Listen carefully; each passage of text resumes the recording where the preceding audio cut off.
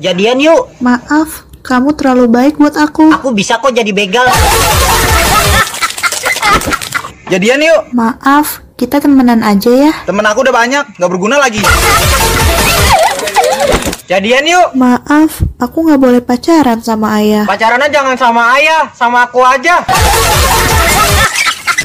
Jadian yuk. Ah gombal, semua laki-laki sama aja, tukang gombal, buaya. Enggak, Neng, enggak semua laki-laki itu sama. Ada yang buaya, ada yang baik, ada yang kang selingkuh, ada yang brengsek.